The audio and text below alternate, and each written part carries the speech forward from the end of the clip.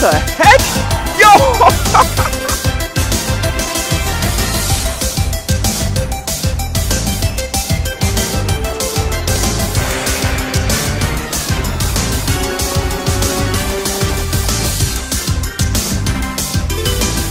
Watch the punch! Wait! Oh, no. Wait! Oh no! Wait! Oh no! Wait!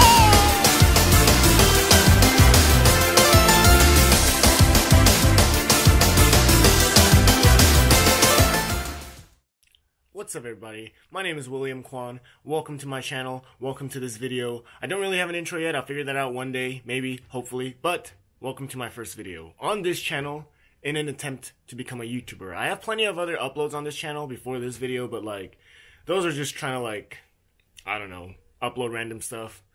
Just like kind of dumping some videos, but like this video, starting starting with this video, I'm like trying to become a YouTuber now cuz um I really want to become one. I don't have to become like a really popular one. I just want to become a decently popular one. Anyway, um, welcome to my video. And uh, this first video is going to be about Kongo Saga because so far my audience, I do have like a small audience right now, 2,000 followers on Twitter, um, 1,000 subscribers so far on YouTube, and they all know me from Super Smash Brothers because I work for 2GG, aka the organization that hosted this event. So I'm going to tell you my experience about Kongo Saga from the perspective of one of the staff. Yeah, like boom, boom. SoCal, SoCal Smash. Also, I'm shooting this on three different cameras right now, this vlog right now. Uh, one is on the Osmo Pocket that I'm, um, I just got recently. I didn't have this in time for Kongo Saga, unfortunately. The other ones are my traditional cameras. That is my Canon T5i with a microphone attached to it. And that's my Canon T6. That's a kit lens. That one has like a 50mm prime lens, so I'm sure that one's gonna look super good. But I'm using three cameras right now just because I want to see like what looks the finest in this type of video format, I guess. Yeah, I'm just experimenting right now, that's all. Also, that microphone attached to that camera, that didn't arrive in time for Kongo Saga either. Like that microphone and the DJI Osmo Pocket that I'm using right now, like I ordered both of these during Cyber Monday, and then right after Cyber Monday, like Kongo Saga happened the weekend right after, and then these items shipped to me on Monday. So like as soon as Kongo Saga ended on Sunday, and then Monday these items came in. So I, I wish I could have used these items during Kongo Saga, but it's fine. Like I still have plenty of other equipment I could work with, and that's exactly what I did. So I got all the footage during Kongo Saga. I didn't use this microphone and this camera, but that's okay. You know, it's a little unfortunate though because the audio, the sound quality is super bad. But I mean, at the same time, that's not also not a big of a deal. Is because I didn't really do a lot of talking there either. And that's because, well, I was working the event. I was too busy working to vlog during the event a, a lot. So, um, yeah. But anyway, but anyway, but anyway. Welcome to my vlog again. It's the vlog. Okay. Do you actually believe that this video will see the light of day and be uploaded? No. See? You guys are watching right now, so that means I made it. Alright, what up, squad? It's a couple of minutes. what you laughing at? Damn. what? What? What? Need my intro, bro? What's up, squad? It's your boy Kwon here. Couple minutes before Kongo Saga's about to open. You know, pretty empty ass venue out here. Uh, here's Nate. He's he's uh, doing his like uh, last minute like preparations. He's a stream master, so he gets to like control this shit. The 2GG sagas are a series of major events that 2GG have been hosting ever since the Smash 4 series, and it's been going on into Ultimate as well. Um, they're really stacked most of the time. Uh, this one was an S tier, and the thing that we do for all these sagas is we have a theme. Like for Kongo Saga, we brought out Donkey Kong players, K. Rool players, Banjo players, Diddy players. And for the last one, Prime Saga, like Metroid Prime, we brought out uh, Samus players, Dark Samus players, Ridley players, Zero Suit players. So that's what we do at Sagas. And there's also a trend that goes on in the Sagas. It's called the 2GG Curse, or Saga Curse, or just the Curse. It's pretty much whoever Saga's theme it is, they will not win the event. Like uh, during Fatality Saga, that was the first saga ever, held in December 2015. I was there. Uh, Fatality got seventh he wasn't even close to being in grand finals and it only got worse from there as the tournaments got more and more stacked and MK Leo Saga, who's currently the best Super Smash Bros. Ultimate player in the world. We had a saga for him in Smash 4, and he got third place. We had a saga for Zero when he was the king of Smash 4, and he got fifth place. So it's a pretty strong curse. And uh, Kongo Saga was not breaking it anytime soon, because there's no way any Donkey Kong was even going to make it into top 8. Not even a chance. So, like, that was not even a concern that the saga was going to be, that the saga curse was going to be broken. That, that wasn't even going to happen. Not even by a miracle. That was not possible. But still, like it's still a big tournament. There's talent from all over California, all over the United States, all over North America. It's all over from the world in general. And Kongo Saga was an S tier event. And so far in Smash Ultimate, I believe there's only been six S tier events, so it's quite a big deal. My number one like um, job at these events uh, is to get enough footage, cover the event with my video cameras and stuff like that. That's what I do but I usually also have like a secondary role as well because TG is not a big group. Don't like we're only a group of 10 people and like a couple of volunteers per event, but the group is only like 10 or, or I think even 9 people right now. So I usually have like a secondary role at these events. I would be a pool captain if there's not enough volunteers to do those. I would be a bag checker, like when we had to up the security and then, you know, I would I would check your bags and, you know, see if you had any weapons or anything like that. So for this event, I was a stream runner, and what the stream runner does is they go around uh, and grab matches from pools and then queue them up for the stream, and then make sure that the players are all ready to go so that there's matches on both streams at all times. Uh, I'm not the only one that did that. Myself and another 2GG member, Karch, we both worked as a stream runner, so we, we took turns. Uh, except for the first pool, though. The first wave of singles was so chaotic because doubles had not finished. So the final like uh, teams from doubles, they were still playing their doubles match, and sometimes um, if they were in like the first wave of pool, like it would be so troublesome because they couldn't play their singles match. And because they were still in doubles, and I would be like, "Hey, I need these guys for a match," and then pool captains would be like, "Oh, they're not available; they're in doubles," and I'd be like, "Oh my goodness, I need to go look for another match." So, the first wave of pools, singles pools, was very chaotic, but after that, it was it was very mellow, smooth.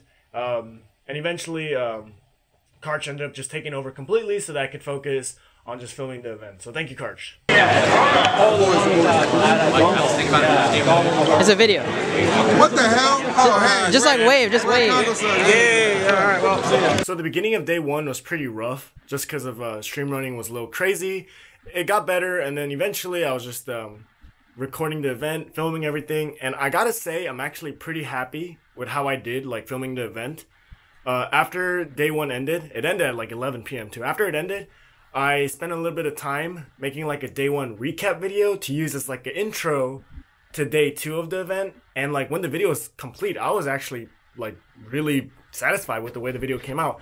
And that's really good for me because this entire year I was in a bit of a stump. Like I wasn't quite sure if my work was like good enough.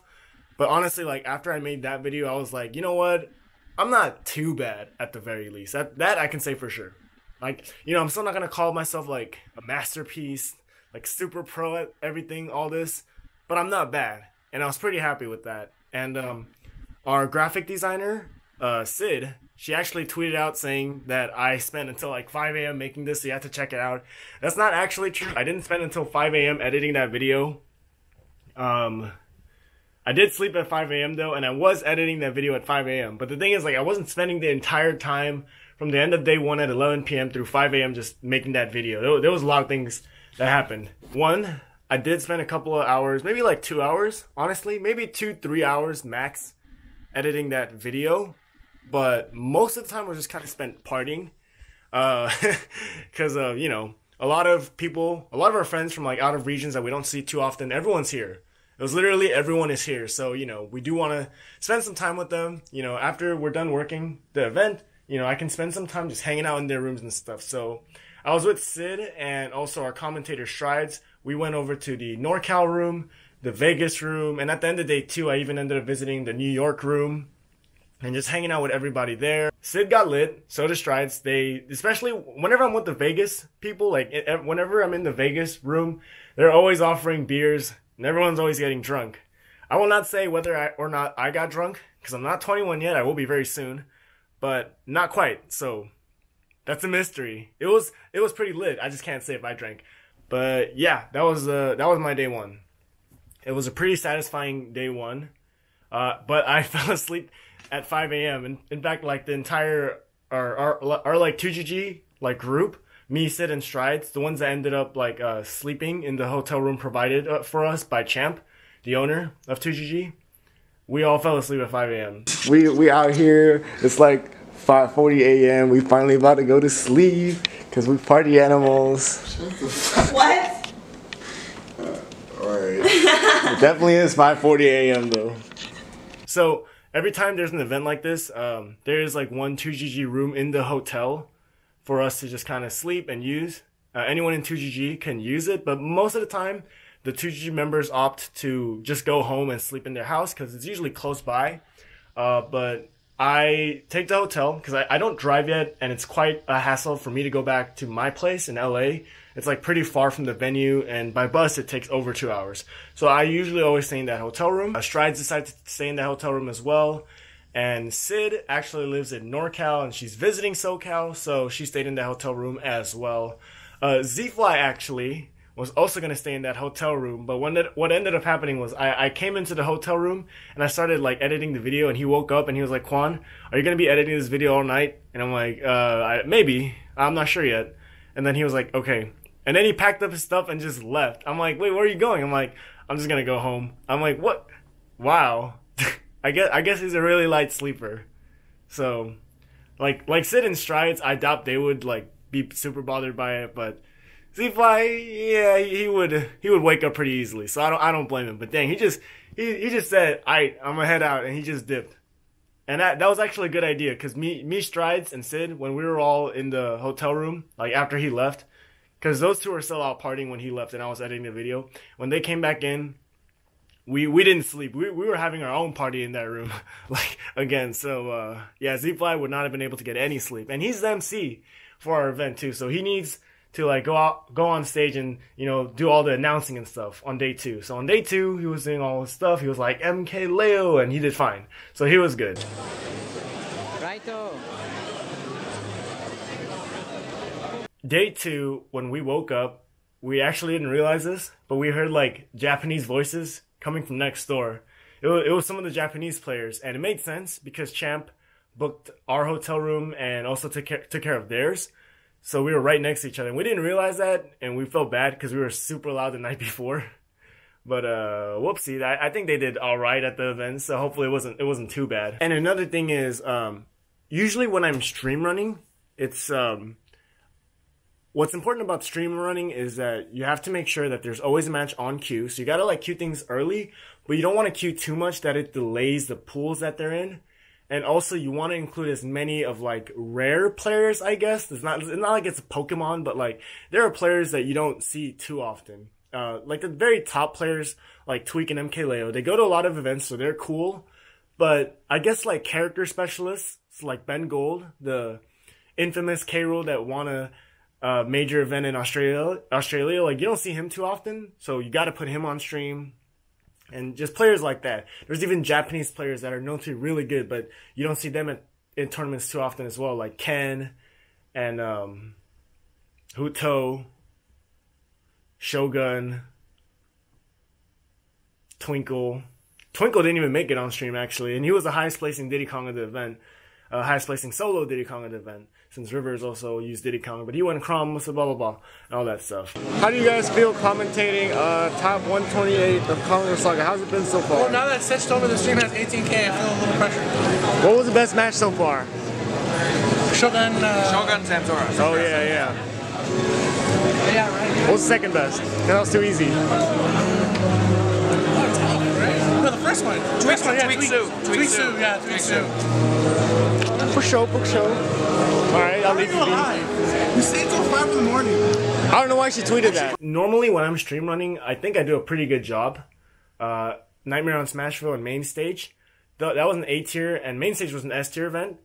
I stream ran for those as well, and it was fine, honestly, because those events were a little less stacked than Kongo Saga. So I had no problem like getting every single like guest, out of state guest on stream at least once, or at least most of them at least. But this one was there were so many, you know, guests from all over the place and so much talent that I honestly could not even get close to trying getting everyone on stream. Even though we had two streams, even though we had two days, like I just couldn't get everyone on stream.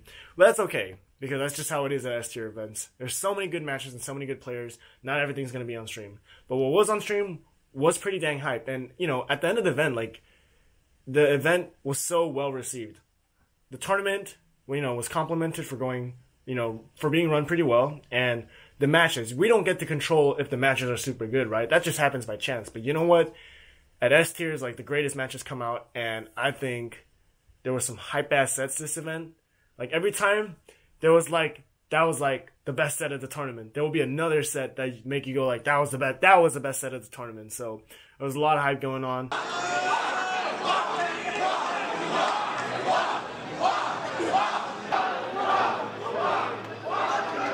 Everyone enjoyed the event, everyone enjoyed the games, and overall it was just a good event. And I'm glad to have been uh, part of like running the event. Running it was super fun for me and I made it fun for others, and that's what matters. And then I, I did my job correctly, and then. Uh, anyway, Strides, what did you think of uh, Kongo Saga? It was cool. I like. I'm glad there was Leo versus Tweak, and uh, this guy got top eight somehow, even though Link sucks. Ooh, top eight boys. what the heck, bro? All right, so almost done editing this video. It's like 4:07 a.m. right now, and this video is like long overdue. But I just got to this footage of all these Japanese players on a bus, and I realized I forgot to talk about that. So I'm gonna talk about it real quick. All right, so after every time we're done running a big event like this, uh, Champ takes all of us uh, 2G members out to Korean barbecue to celebrate successfully running another tournament, and uh, he also usually brings the Japanese guests with us because you know they came all the way from Japan for our event, so you know we like them. So usually it's like us 2G members and Japanese players. We go to K Barbecue, but this time the group of Japanese players that came here for this event was so huge that like we couldn't just fit them all in our cars. So Champ just straight up got a shuttle from the hotel to put them all in there, and they needed one person from one of us to like stay with them so they don't like just get lost. Uh, so Champ made me go with them. So I was like, uh, okay. So I was just in this shuttle with all the Japanese players. I don't speak Japanese. I'm Asian, but I'm Korean. I'm the I'm like literally one country below. So uh, I was just sitting there, you know, just minding my own business. Like it's not like I could even talk to them. I was getting it, was, it was getting a little awkward for me because I didn't want to just like be there. You know, I don't want to make a bad impression on them either. Um, but luckily, Sue was. I was sitting next to Sue, and then um, you know, Sue's cool, so I like turned to him and I started you know talking to him in English a little bit. And you know, his English isn't like the best, right? But he can still like have a basic conversation. I can't have any basic conversation in Japanese, so you know, this is this is the only option. So you know, Sue was cool enough to like talk with me throughout the rest of the ride, and then uh, you know, it wasn't as awkward. Everyone everyone got to the K barbecue safely, and we all had some good ass Korean barbecue, and it was a good night. Uh, thank shout outs to Sue though for having that conversation with me. Otherwise, I would have felt really awkward. Good thing I didn't. Thank you, Sue.